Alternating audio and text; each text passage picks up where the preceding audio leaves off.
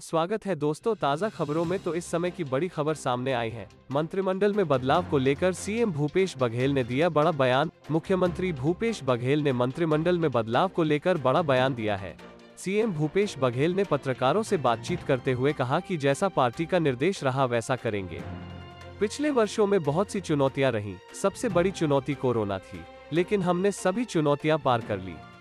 बता दें कि तीन साल पूरे होने पर सीएम भूपेश बघेल ने आज राजधानी रायपुर स्थित दूधाधारी मठ पहुँचे और पूजा अर्चना कर प्रदेशवासियों की सुख समृद्धि एवं खुशहाली की कामना की। मुख्यमंत्री बघेल गौ पूजन में भी शामिल हुए।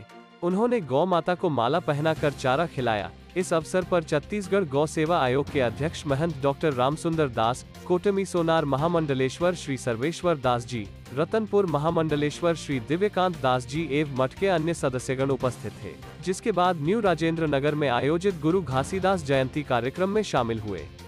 उन्होंने वहाँ जैतखाम की आरती एवं पूजा अर्चना की और बाबा गुरु घासीदास के चित्र पर माल्यार्पण कर प्रदेश की समृद्धि और खुशहाली की कामना की।